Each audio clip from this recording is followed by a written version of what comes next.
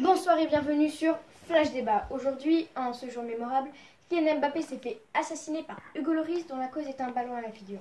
Une minute de silence pour ce joueur de foot exceptionnel. Hop, hop, hop, hop, hop, d'abord on va parler de mes livres. Chut, le silence On parle de mes livres, c'est clair Reportage inédit, Livia Peruso et Lou de Gar-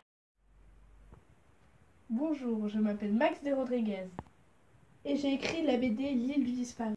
Alors voilà, L'île du disparu, c'est une BD que j'ai écrite en 2018. C'est l'histoire de deux enfants, Stitch et Tilde, qui doivent, selon la tradition, survivre un mois sur une île loin des adultes. Merci Ma- Max de Rodriguez pour cette interview. Et maintenant, une lectrice va nous donner son avis sur la BD L'île du disparu. Bonjour Stéphanie, Euh, j'ai aimé ce livre car j'ai trouvé l'histoire originale et pleine d'action et de surprises. Pourquoi avez-vous trouvé cette histoire originale? J'ai trouvé cette histoire originale parce que j'ai trouvé ça- le, enfin, le fait que des enfants doivent survivre seuls sur une île déserte, euh, loin des adultes. Conseilleriez-vous ce livre aux petits lecteurs Bien sûr, euh, en plus les mots sont bien écrits et faciles à comprendre. Merci Lou pour votre avis et à bientôt. Bon, euh, on peut continuer une minute de silence, j'ai pas été payée pour présenter des bouquins. Nouveau reportage d'Ivia Peruso et Lou de Gardin. Bonjour, je suis Sylvie Bossier et j'ai écrit le roman Moi Méduse en 2011. Donc voilà, euh, Méduse est une fille qui euh, se vante souvent de sa beauté. Un matin, elle se réveille et ce n'est plus le visage qu'elle connaissait avant. Désormais, elle ne peut plus regarder quelqu'un sans qu'il ne se transforme en pierre. Merci Sylvie Bossier. Et maintenant, une lectrice va nous donner son avis sur ce livre. Bonjour Anne-Sophie. Bonjour Olivia. Alors, qu'avez-vous pensé de ce livre? Je trouve l'histoire surprenante et les personnages ont tous un caractère différent. Qu'est-ce qui est surprenant pour vous dans ce livre?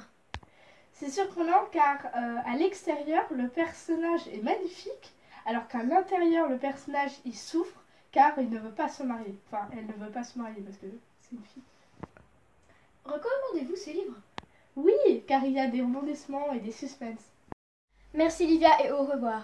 C'est bon, vous avez fini? Encore un c'est terminé. Patience Re, re, reportage. Lou de Gardin et Livia Peruso.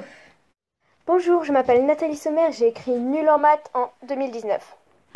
Victoire est une petite fille de CM2 qui adore la plomberie et son ami Acer. Elle est nulle en maths et si elle ne ramène pas la moyenne avant la fin de l'année, elle, elle partira en pension en sixième. Merci Nathalie. Et maintenant, une lectrice va nous donner son opinion sur ce livre. Bonjour. Alors j'ai trouvé euh, ce roman drôle et fort à l'amitié car son ami Yasser l'aide beaucoup pour les maths. Est-ce que ce livre est long à lire? Le livre est long mais à chaque fin de chapitre on veut savoir la suite. Merci Anne-Sophie pour ces reportages.